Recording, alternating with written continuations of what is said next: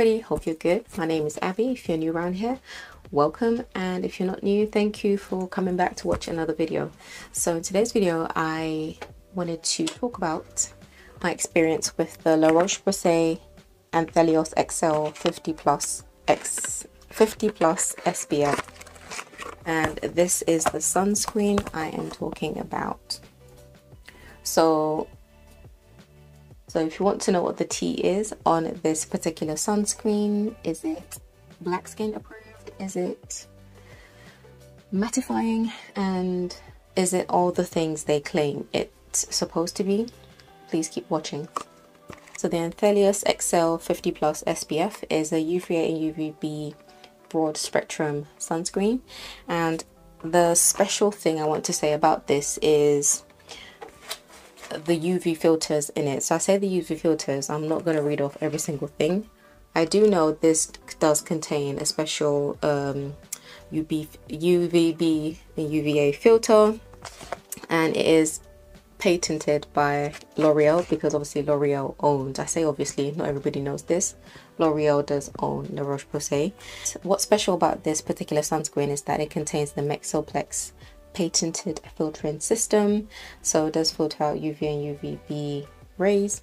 Now uh, the first thing is the price. So this originally retails for 18 pounds but you can get it on offer at most stores um, at certain times in the year. Obviously around summer most retailers are trying to sell sunscreen because obviously it's needed. So I managed to get this for 13 pounds 50 now, I'll just read off the claims and then we'll talk about whether or not it does meet the claims, at least the ones I can substantiate anyway. So it says it's suitable for oily skin. So it's also suited for a skin that's prone to sensitivity, sun intolerance, and prickly heat. It says it's non-greasy, easy to apply, broad spectrum, as in UVA and UVB, and infrared protection. We've talked about the fact that it's for factor 50 plus. Now, the thing about this is the plus is that um, they do claim on the La Roche-Posay website that the protection is actually stricter than the European recommendation. So I think with a lot of these um, uh, uh, sunscreens that are created, you actually have to allow for more than what's stated just to, I guess, maybe um, to allow to allow for some of the maybe filters to degrade over time. So you definitely have to like aim higher than the 50 as you can't formulate to the actual point because maybe by the time it gets to the uh, consumer or you know maybe along the maybe after the consumers had it once it's been open it starts to you know degrade. So i think they have to take all of that into consideration so yeah, so they do claim that they do actually have um, a stricter policy than the European Union, which is, you know, than what the European Union recommend, which is um, quite a big claim. And then it also talks about the Mex Mexoplex uh, patented filtering system. So the Anthelios range, they say, has been tested on subjects in clinical studies, which is a big thing because a lot of these sunscreens um, that are created are created, I guess, based on theory or based on in vitro, in vitro studies, and that's like in little petri dishes, whereas in vivo studies are on skin, on humans. So this targets those who suffer from all sorts of sun intolerances, uh, particularly those caused by UVA. So it also promises to be water resistant. Another claim they they mention on the site is that they all have a high PPD, which is persistent pigment factor. So basically it's offering one of the best protection against UVA again um, and all this is backed by um, so on the website it says they have 16 clinical studies which is massive. I mean to even get one clinical study is amazing. They have 16 separate clinical studies carried out by world renowned dermatologists. So yeah you know they have invested a lot of money into um, this Anthelios range. So I mean it definitely speaks to the size of the company that L'Oreal is and you know how much money they invest into their sunscreen. So that gives me a lot of confidence. I mean they have their reputation on these sunscreens so they have to get it right. Um, and it also says on the site that it's recommended by 9 out of 10 dermatologists. And what else? Am I missing anything so yeah. On the box though so there was something i wanted to say. So on the box i don't know if the 16 that they mentioned on the site is a typo or just in maybe maybe a there have been more clinical studies substantiate, you know, there have been more clinical studies between when that copy was written for the site and when this was printed on the box because on the box it talks about you know the UVA UVB broad, broad, broad spectrum protection but it also says it's proven by 24 clinical studies. So yeah there's a there's a bit of discrepancy between this box and the site just FYI and it also claims to have no white marks. Yes no white marks and it is a dry touch gel cream. So or non-perfumed by the way. So it also claims to be non-comedogenic on the box it actually does mention Airlicium technology. So um, it says mattifying microparticles immediately absorb and control all sources of shine. So that's in brackets sebum sweat and humidity.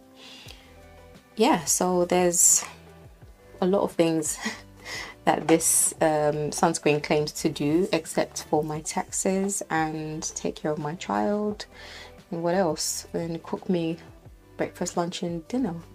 But yeah back to the actual claims itself. The one thing the one big hump to get over with this is which kind of rubs me up the wrong way. I guess initially it does anyway which is the no white marks claim so you see a little demo of me applying, if you haven't already, you see a little demo of me applying the sunscreen.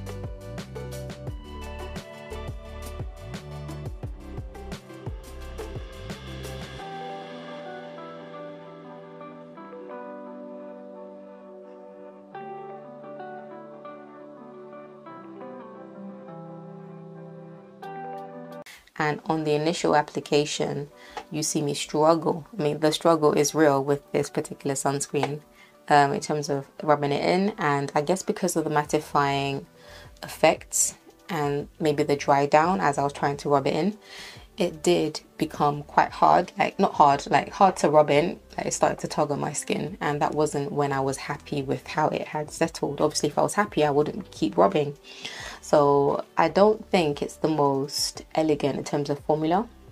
Maybe because of the mattifyingness because of the mattifying effect. Um, yeah so there is that. And also when I did when I rubbed it as much as I could before I felt like it was going to start pilling I did see like a bit of ashiness on my skin. Now that ashiness was probably more pronounced around my hairline and catching where it caught on my hairs. Around the center of my face, it actually wasn't that bad. I think maybe on the darker areas, and obviously like I said around the hairline that's when it was more pronounced so what I did do as you saw was to go over it with like my sunscreen stick and that tends to help so basically anytime I have like issues with like uh, white mark uh, not white marks uh, with um like a white cast from sunscreen. I'll just use a more emollient um, sunscreen just on those areas just to help it blend because for me it's more a case of blending because it's such a thin layer a bit of blending will help that um, white cast go down a bit. So that's what I did and you saw most of it actually did go. The only thing that was left was the sunscreen that was caught on my brow hairs. So that's there is that as well. So obviously if you're a man and you do have beard uh, like a beard or moustache or any kind of facial hair it's probably going to catch on that and I don't know if it will rub in completely um, looking at the ingredients, at the bottom of the ingredients, it does actually have uh, nanoparticles of titanium dioxide, which obviously we know titanium dioxide is one of the two mineral or physical sunscreens um, out there, and they're both white powders. So, uh, yeah, so that could be what I was seeing on my face. Eventually, I think a couple of hours, I'll show you the second shot of my what my face looked like after a few hours, and it was I think it was fine. I, I, mean, I couldn't see anything on the like perimeter of my face. The center of my face was actually fine, or like the slight ashy spots I could see before were, I think, mostly gone. So I don't think it stays. I think it will eventually disappear maybe I think with the sunscreen like this it might be worth maybe applying two layers. I think every single time I've applied it I've applied it in just one layer and I'm only just now starting to get to grips with the concept of applying two layers two smaller layers rather than one big one. So yeah sometimes I do remember most times I don't. As you can see I mean if I did I would have done it in two layers but I just wanted to show you what most people will probably do which is just take a glob smack it on your face and rub it off and rub it you know all over. So yeah there is that. I like the fact that it is um, not um, scented. I do prefer my sunscreens to not be scented. Anything that I apply to my face these days, I kind of lean towards non-scented, especially in sunscreen as well, because I'm not sure about how, you know, the fragrance interferes with, you know, you know, UVA, UVB rays. I'm guessing it's fine because obviously they wouldn't have formulated it if fragrance was going to interfere. Um, you know, at least we should we should trust the formulators that they actually they know what they're doing, especially for a brand like L'Oreal or slash La Roche-Posay. So yeah, um, there is that. Uh, one other thing is has a 12 month use by a little stamp on there which just shows you how long you have to use it. And I love the packaging. I do I mean I do like the packaging. I know some people actually are a bit hit and miss with this type of packaging where there's a pump and there's it's also a squeezy tube. Um, the size of it makes it easy to travel with. I know that's a plus but um, for me the pump is actually what makes it easier to like get the product out. The only thing I'm thinking about is how the pump would work if once you start like getting to like the last dregs like will I be able to cut the pump off so I can get the last bit of sunscreen out? So I don't know how that would work but we'll see. We'll, we'll cross that bridge when we get there. But I do like the pump. It just makes it a bit more sophisticated um, and justifies the price. Would I get this for 18 pounds? Absolutely not. There are other sunscreens out there and especially for this size I'm a sticker I'm a stickler for um, value for money in anything I get and 50 ml is probably the minimum I would go for in terms of sunscreen for the face. And what really annoys me is that face sunscreens tends to come in these really teeny tiny packages. Like you're not going to get through them in two weeks if you use it more often. Like if we really if we all use sunscreen the way we're supposed to which is typically every two hours depending on the formulation this I will run through this in like a week. 50 mls is nothing. So for that price especially if i got it for 18 pounds boy yeah it's not gonna work. This relationship is not gonna work. So i don't know if i mean i say i don't know. I'm not getting into a relationship with this sunscreen if it's gonna cost me 18 pounds because i would run through it like nobody's business. So yeah so that's that. But i like the fact that it's mattifying because it is targeted for oily skin. For sunscreen like this i think you would need to combine it with another one. Um, just to make it for ease of use i definitely say apply it as much as you can but maybe do what I do, use a sunscreen of a similar factor, maybe 50 or more, and uh, use it to blend out the perimeter like I did because you can layer your sunscreens. You just need to be careful about mixing different factors um, of your sunscreen. Um, yeah, because then you, you're going to get like uneven protection. So if you're going to mix your, sun, mix your sunscreens, try and make sure the formulas actually work together if you can do that much research and make sure they're, they're at least both the same factor 50 protection. So i think i would i i don't think i would be able to use this all on its own unless maybe it's on a day where i'm wearing makeup. I wouldn't be able to like carry it down to my neck um, because again actually that's the thing. I think i would use a different sunscreen on my neck just to save me some money with this um, and also because i don't need my neck to be matte. I could use a typical regular sunscreen on my neck it's just my face that I need to be matte and more specifically it's just my T-zone so we could do a Gwyneth Paltrow and just apply it to the high points and then go in with um, a different sunscreen in other areas that I'm not so concerned about so you could do that if you wanted to so yeah I like it. I don't love it. I like it because it does what it says on the tin, except for the whole white mark, easy formulation type of uh, claim, which I, I'm a bit iffy about, only because I know it doesn't rub in as easily as I want it to. But then, is that a trade off for the matteness that you're going to get? Because matte formulas tend to dry down quickly, which is exactly what it did. So I don't know. Can I penalize it for that? I really don't know. I would like the formula to be a bit more elegant, but in the meantime, I can definitely concentrate on my T-zone, like the whole center area, and then maybe use a different sunscreen on the perimeter and on my neck. So that's that's that's my thoughts on that.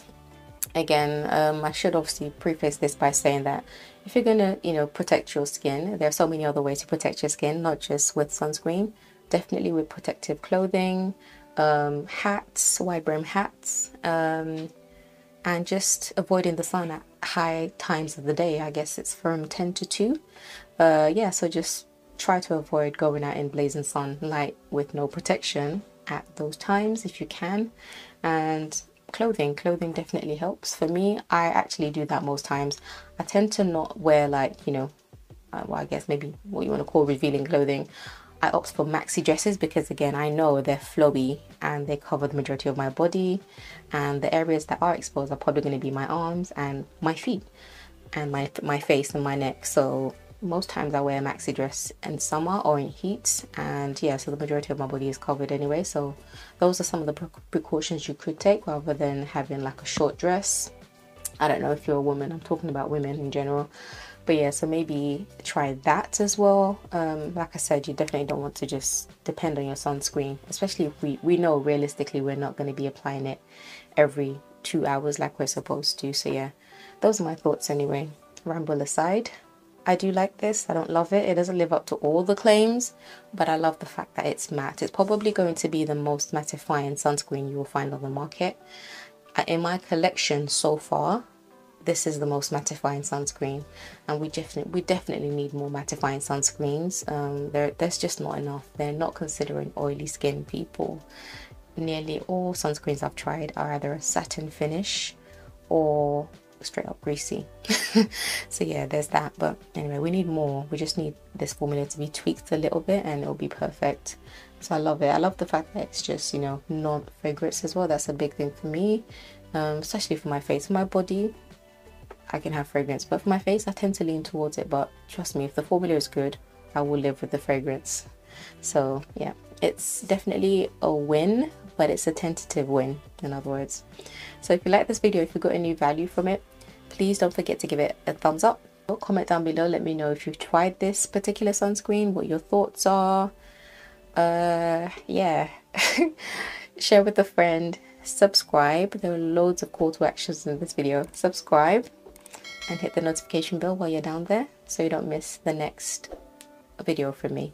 I will be reviewing, um, I'll be doing singular um, reviews for each of the sunscreens in my skincare stash. So if you definitely want to keep up to date with that, you want to hit the notification bell and you want to subscribe so you don't miss the next video. I have a lot of sunscreens to review. I feel like it's easier to do that just to talk about the sunscreens and their claims in depth. It's a lot easier to at least digest all the information and actually make a more informed decision as to whether or not you want to go for it rather than trying to cram all those sunscreens I've used into one video. Yeah, so there's that.